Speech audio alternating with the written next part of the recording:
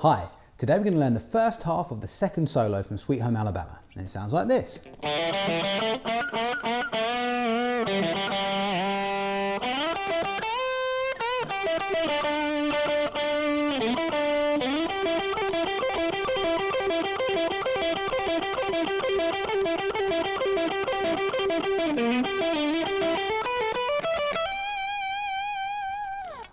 Okay, my name's Ollie from Your Guitar Academy and in this Sweet Home Alabama guitar lesson we're going to look at the scales, techniques and positions you're going to need to be able to play this song. Before we get started, remember to check out the description for, below for a link to our website. There's going to be a full write-up there with all the scale diagrams and everything you're going to need. And if you love what we're doing, please uh, don't forget to subscribe to our channel and like this video. Okay, so let's get started. The first lick sounds like this. So just like in the first solo, we're in, think of it as G uh, major pentatonic, shape one, open position. so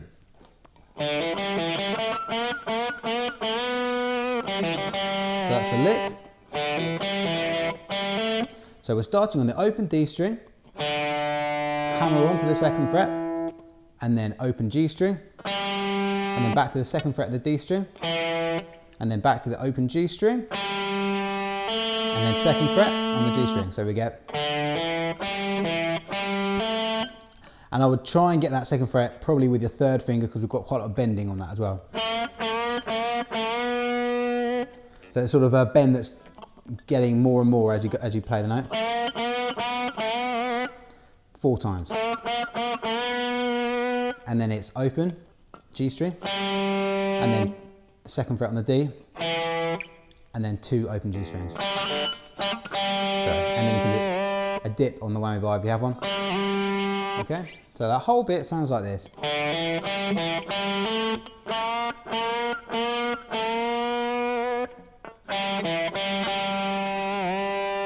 Okay, if you don't have a whammy bar, just just don't do that dip. It won't sound um, massively wrong.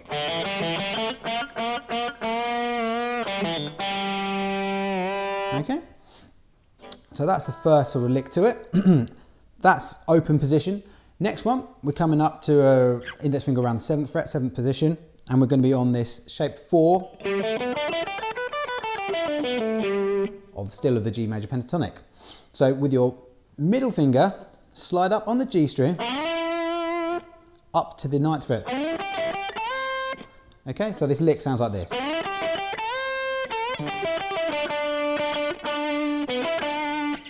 Okay, so it's really important that you, because it's a big slide, we change the positions, we want to make sure we're on the right finger to be able to play the rest of it. So middle finger, up to the ninth fret on the G string, and then index finger, eighth fret on the B string, and then back down. So it's...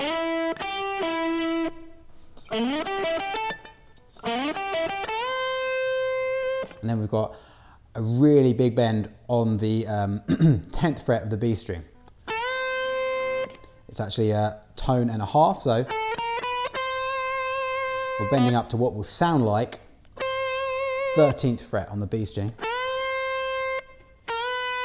And then we're letting it come down one semitone so it sounds like the 12th fret. So we're getting this sort of sound. But we're doing it with bends.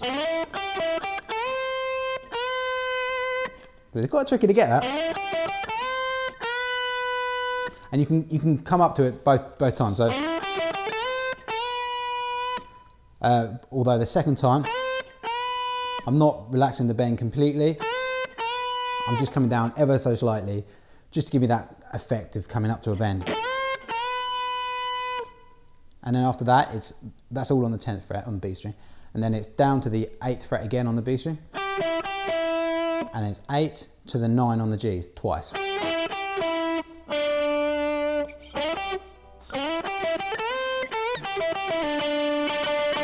And then we've got that sort of rhythmic bit on the 7th fret of the G string. Okay, so, so far we've got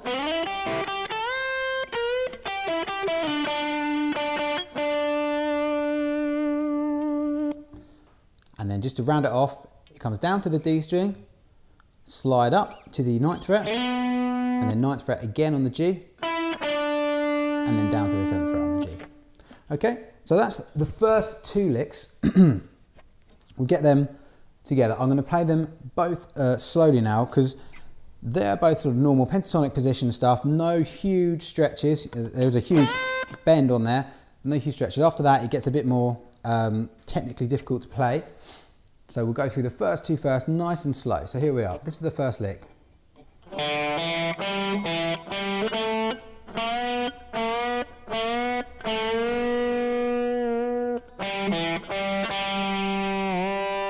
I'll do that one more time.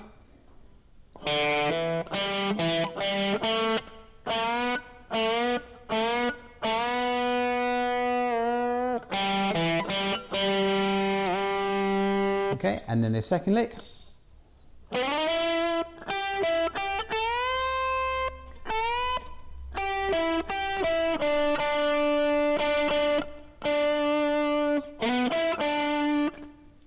Okay, and again.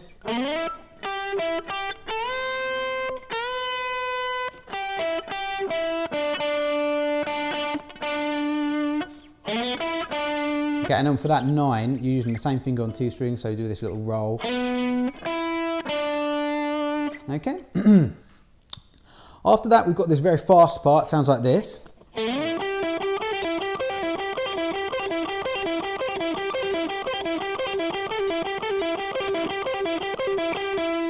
right, so that is like a, a mega lick. Um, but actually, it's just pretty much the same thing, just repeated a lot of times. So the trick to this is going to be getting the technique down first and then just working out the number of times it repeats and then practicing it. So we've got like a little lead into it. It's a slide up on the D string to the uh, 14th fret and then the 12th fret on the G string and then back down to the 14th fret on the D. So, and then we've got this part. So this is uh, 12th fret on the G, pick that and pick the 14th fret on the G and then pull off to the 12th on the G and then so we've got I'm pulling off to the 12th and then with that back down to the 14th on the D. So that, that, that sort of leading lick sounds like that.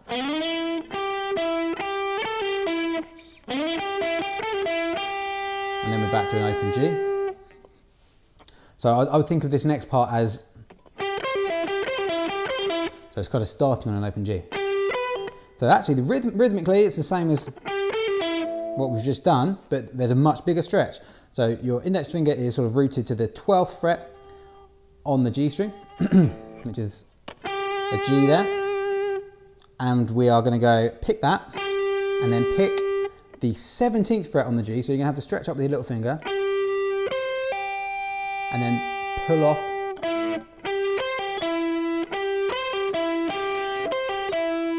Okay, and then back down to the 14th fret on the G, on the D, sorry.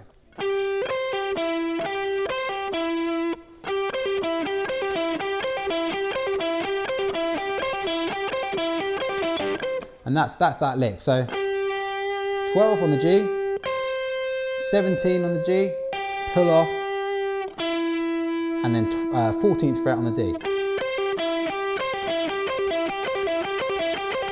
And I would just practice that on its own because that's, you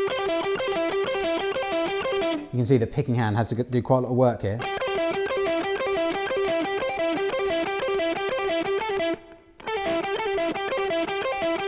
And then it kind of switches back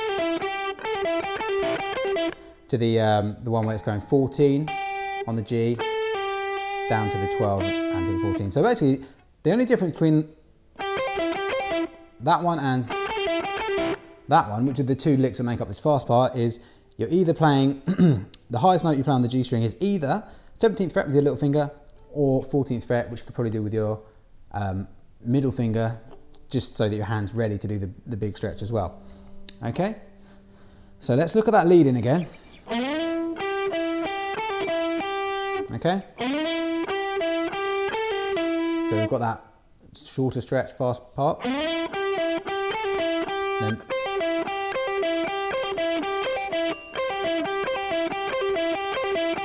Okay, so we do that. and then we come back to the shorter stretch twice. So let's look at how, how many times we do the, the big stretch.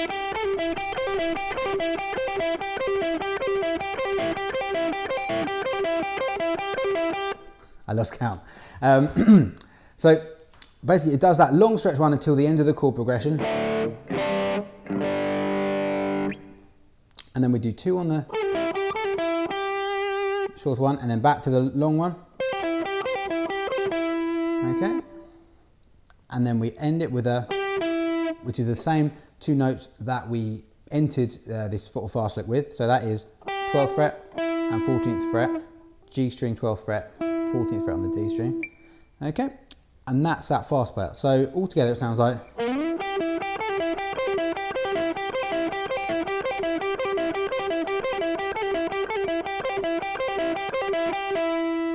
Okay, so I'll play that slowly and just sort of count through it, work out exactly how many times you're going to be doing this lick and then and then practice it. So,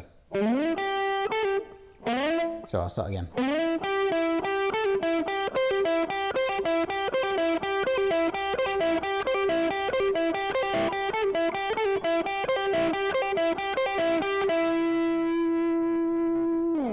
So altogether this fast lick sounds like this.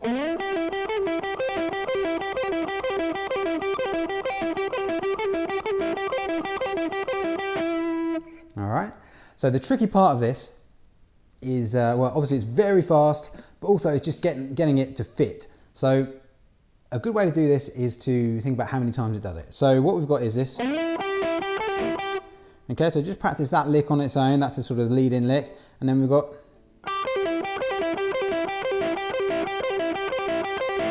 Okay, so basically it does that eight times. One, two. Okay? So first of all, just practice it enough that you're really comfortable playing it. And then it's eight times. I mean, um, personally, I just think of it as it goes around the progression once, because um, that way I'm sort of listening to the song rather than trying to count the number of these, which they're, they're so fast, it's kind of hard to count them.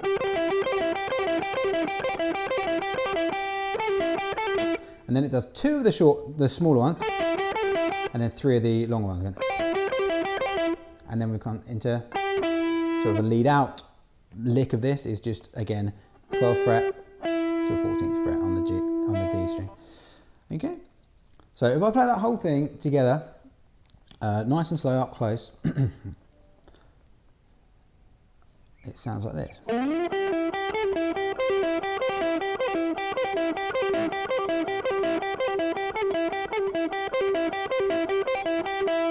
Okay, I'll go a bit slower.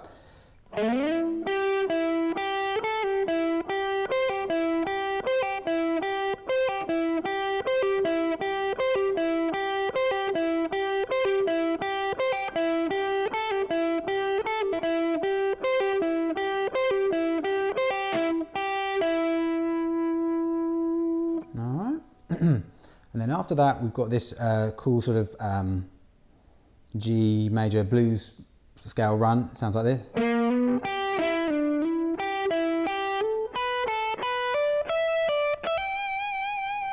Okay, and that's the last lick of this first half of the solo. so we are still in this, um, well, sorry, we're back in this shape one. Sorry, of uh, G major pentatonic.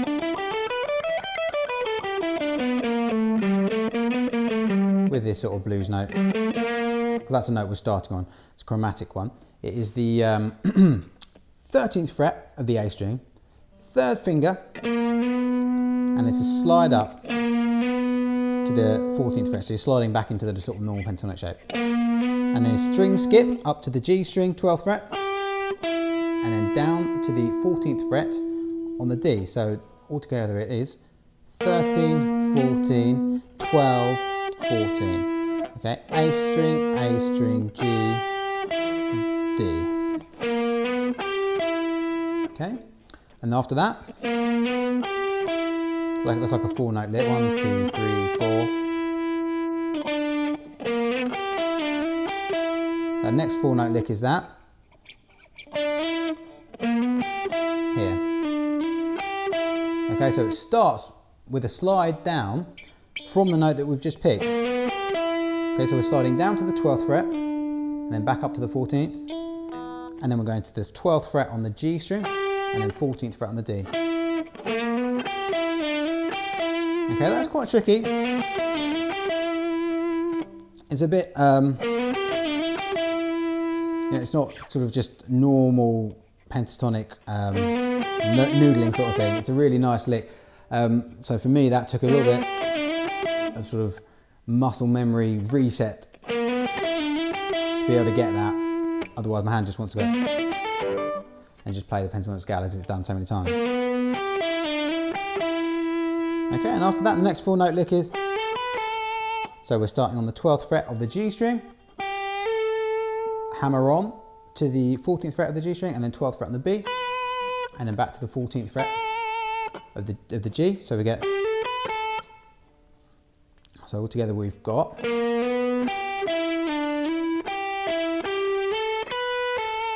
the last bit up to the B string, 12th fret, hammer on to the 15th, because that we're off of that uh, that sorry major pentatonic shape. One, and then hammer to the 15 and up to 12 on the E, and back down to the 15th fret on the B string. So we're kind of for those last two, we're sort of following the same sequence, um, just applying it to that pentatonic scale. and then the last note is 15th fret on the uh, E string, which is our root note, it's that G. Okay, and that's that for the first half of the solo.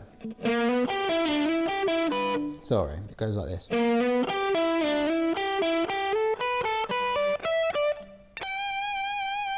You could do a little hammer on from the 12th fret to the 15th.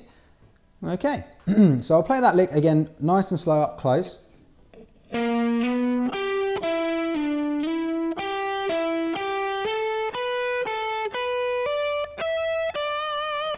Okay, that's a super cool lick to just to play it, just practice on its own. Sorry.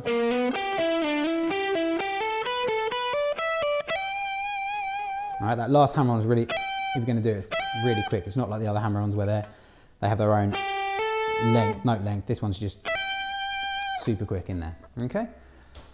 So that is the um, the last part of the the first half. So if I, I'll play through the whole lot now. I'll play at normal speed and I'll play it more slowly, and then we're, then we're done with that that, that part.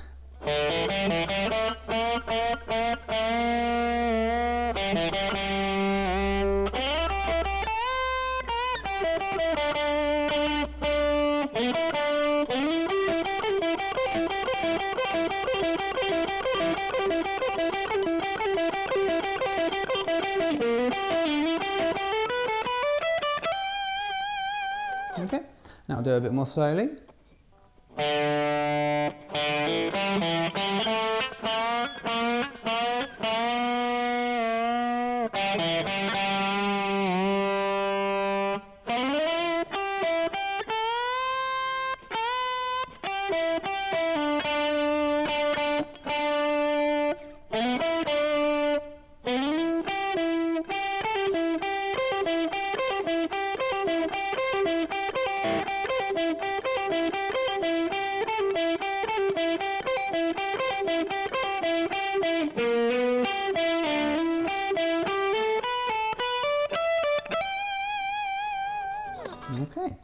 So that fast bit is, I mean, it's hard to play fast, but I find it's actually much harder to keep the timing of that and the phrasing when you're playing it slowly. So I would suggest not worrying about like how many times around you're going to play it uh, to begin with. Just get the technique. So it's down, downstroke on the on the G string, upstroke on the 15th fret, and then pull off, and then it's a downstroke on downstroke on the um, D string. That's the first time round, and then the next time it's upstroke on the G, downstroke on the 15th fret, pull off, and then an upstroke on the on the 14th fret on the D string. So you kind of got it as like a, um, it loops, um, it goes over itself twice, where the picking sort of inverts. But if you do it like that, you're able to just keep an alternate picking um, motion going.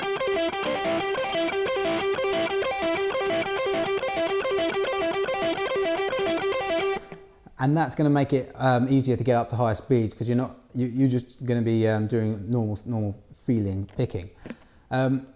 So I would first focus on it slowly without worrying about how many times it goes around. Just aim on aim to get the speed up a bit, and then when you're ready, just sort of play along with the song. Um, listen to it as you're playing it because I think that's going to help get the phrasing of this. Cool.